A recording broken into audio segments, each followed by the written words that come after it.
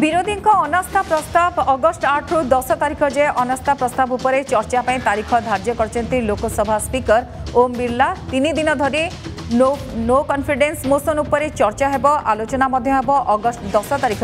प्रधानमन्त्री गृहले विवृत्ति रहे मणिपुर प्रसङ्गले प्रधानमन्त्रीको उत्तर दाबी विरोधी अटल थाबे संसदले प्रधानमन्त्रीको विवृत्ति दाबी विरोधी अनास्था प्रस्ताव आनिले ସାମ୍ବିଧାନିକ ପ୍ରକ୍ରିୟା ଅନୁସାରେ ଅନାସ୍ଥା ଭୋଟ୍ ପରେ ପ୍ରଧାନମନ୍ତ୍ରୀଙ୍କୁ ଗୃହରେ ଅଭିଭାଷଣ ରଖିବାକୁ ହେବ મોડ લોકસભા સીટ સંખ્યા પાંચશહ તેયાળીસ રહી પાંચ સીટ ખાલી થવા બેલે ମ୍ୟାଜିକ୍ ନମ୍ବର ଦୁଇଶହ ଅଣସ୍ତରୀ ବିଜେପି ନେତୃତ୍ୱାଧୀନ ଏନ୍ଡିଏ ପାଖରେ ରହିଛି ତିନିଶହ ଅଣତିରିଶ ସିଟ୍ କେବଳ ବିଜେପି ପାଖରେ ତିନିଶହ ଏକ ଆସନ ରହିଛି ବିରୋଧୀ ମେଣ୍ଟ ପାଖରେ ମାତ୍ର ଶହେ ବୟାଳିଶଟି ସିଟ୍ ରହିଛି ତେବେ ବର୍ତ୍ତମାନ ଅନାସ୍ଥା ପ୍ରସ୍ତାବକୁ ନେଇ ଆଲୋଚନା ହେବ କାରଣ ତାରିଖ ମଧ୍ୟ ଧାର୍ଯ୍ୟ ହୋଇଛି ବିରୋଧୀଙ୍କ କହିବା କଥା ହେଲା ଯେହେତୁ ମଣିପୁର ପ୍ରସଙ୍ଗରେ ପ୍ରଧାନମନ୍ତ୍ରୀ କୌଣସି ଉତ୍ତର ଦେଉନଥିଲେ ତେଣୁ ତାଙ୍କୁ ଅଭିଭାଷଣ ରଖିବା ପାଇଁ ପଡ଼ିବ जिते अनास्था प्रस्ताव उपर आलोचना हम आपीकर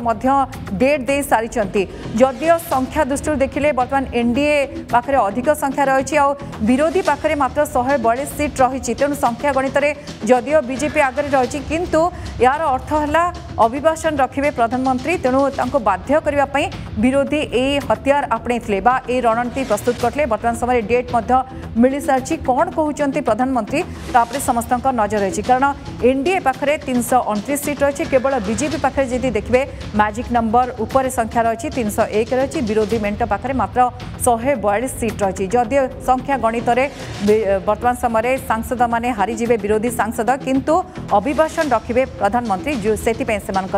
এই রণনীতি